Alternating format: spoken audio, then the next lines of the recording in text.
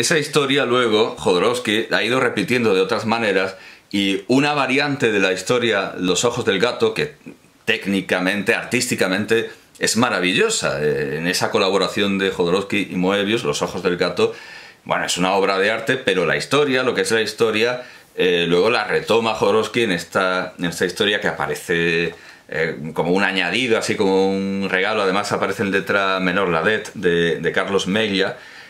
Tiene más o menos la misma historia, bebe de, ese argumento de los ojos del gato. desde luego ahí está el Moebius que da cuenta de hasta qué punto puede dominar la perspectiva, el trazo, el dibujo, todo. Todo. Es, es desde luego el Moebius más artístico, el, Moebius artista en estado puro. Pero bueno, es una historia muy breve y como ya me compré el Incal, el primer volumen de esto contiene Los ojos del gato, el Incal y algo más y algo más. Pero como compré el Incal por otra vía, ahora eso sí, me tengo que quejar. Bueno, he dicho que el Moebius fundamental es no tanto, es el de Jodorowsky, pero no tanto el de La Loca del Sagrado Corazón como el del Incal, aunque tengo que decir que esta edición, sí, de los humanoides asociados, pero es la versión inglesa.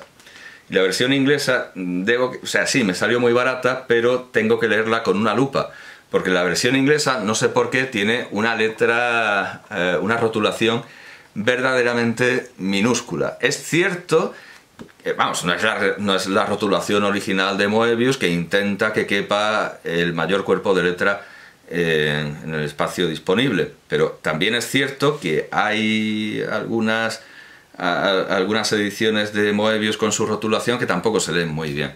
Bueno, este es el único defecto, que, la rotulación es microscópica, son hormigas si tengo que leerlo con lupa. Supongo que en francés es mucho mejor porque la rotulación de Moebius creo que es suya, bueno, es mejor. Como digo, el Moebius fundamental es el que colabora con O'Bannon, el que colabora con Jodorowsky en el Incal y el, eh, el que se queda solo, pero con todo lo que ha aprendido de Jodorowsky y ya no se le va la pinza, ya no se le va la olla con la meditación y los extraterrestres y, ni, historias, sino que cuenta una historia, además se cuenta a sí mismo de una manera real y no por persona interpuesta, donde aparece el verdadero Moebius.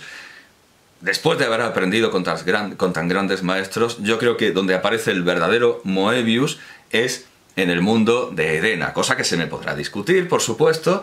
Por cierto, ¿de qué año es? Porque eh, le criticaban eh, ese espiritualismo en los años 80. Eh, esto es de 1990. la serie empieza en 1990 y termina en 2001. Es una saga, digamos.